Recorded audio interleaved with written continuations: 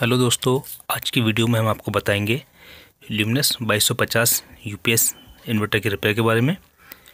जैसा कि आप लोग देख रहे हैं, ये एक 24 वोल्ट यानी डबल बैटरी से ऑपरेट होने वाला इन्वर्टर है। आइए चेक करते हैं कि इसमें क्या फॉल्ट आ रहा है।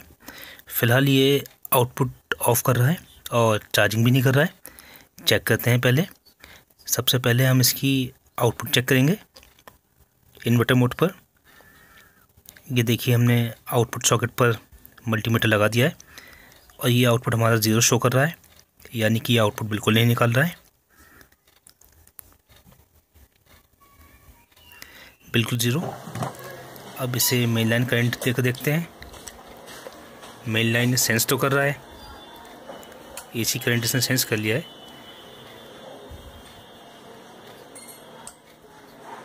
बट ये चार्जिंग पर एरर दिखा रहा है। चार्जिंग पर एरर दिखाकर बंद कर दे रहा है। चार्जिंग बिल्कुल नहीं हो रही है। सबसे पहले हम इसे मेन लाइन से डिस्कनेक्ट करके किट की सफ़ाई करके बाहर निकालेंगे। अच्छे से साफ़ करेंगे। और उसके बाद में इसके किट के जितने भी पेच वगैरह हैं, सब अच्छे से खोलकर किट को बाहर निकाल लेंगे।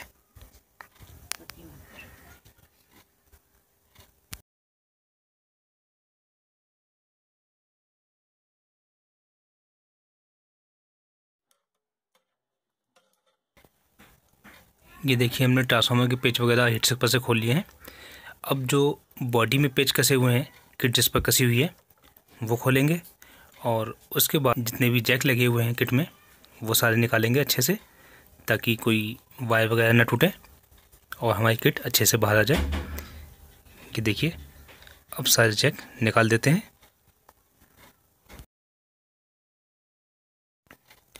किट के सारे जैक निकाल लिए हैं।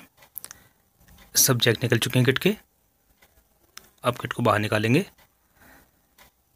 अब हम देखते हैं, जैसा कि हम लोग देख रहे हैं, ये इस जैक पर ये पिन जली हुई मालूम पड़ रही है। ये देखिए, इसकी पिन ये जली हुई है।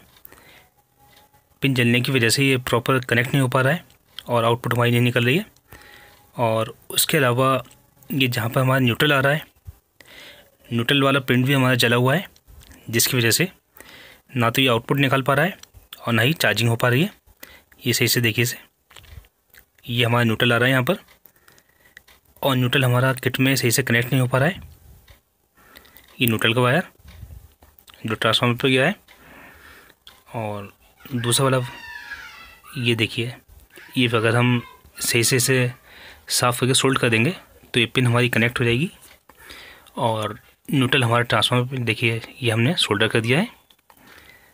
अब सोल्डर करने से ये होगा कि कनेक्ट होगा और ट्रांसफार्मर हमारा सही काम करेगा।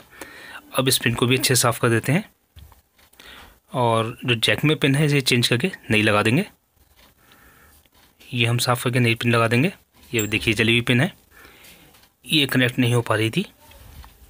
हम इस पर नई पिन से रिप्लेस कर देंगे इसे। ये देखिए हमने नई पिन इस पर लगा दी है। अब इस किट को फिट कर देते हैं इन्वर्टर में।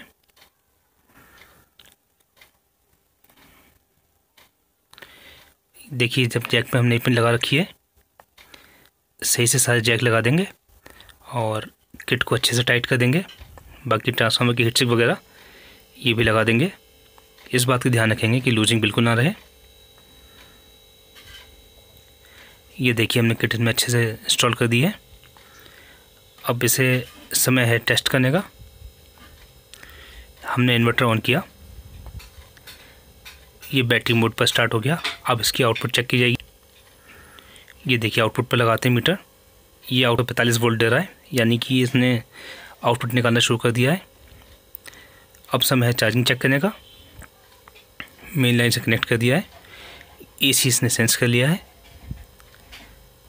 अब चार्जिंग भी हमारी स्टार्ट होने वाली है।